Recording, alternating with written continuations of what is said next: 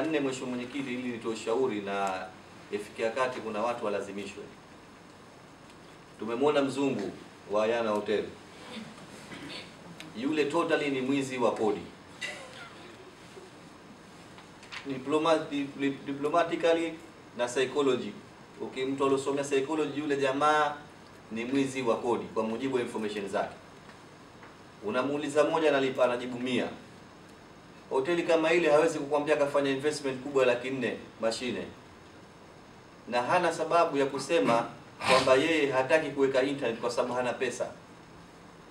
Kazungumza mambo mingi ya utumbo pale, na hii ndio tukasema kuna baadhi ya wageni wakiwepo nchini wanakuwa na jeuri, na ndio ile jeuri, na ndio maana nikamshauri mwenyekiti, ziara inayokuja tutembee na polisi hao wawili maana ukitokezea utovu adabu kama ule pale pale tunambeba, kama kamati za bunge. Kamati za bunge zinatembea na mapolisi.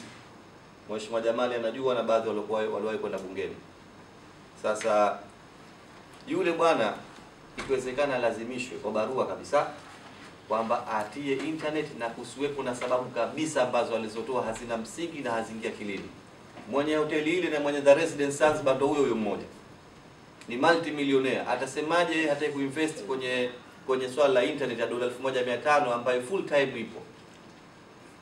Anatueleza pale hivi, meneja yake anatueleza hivi, halafu kamchenjia meneja yake baada ya kuona kwamba kimesema Kiswahili hajafahamu, akasema hizo information mlizopewa si za kweli, labda akakosea.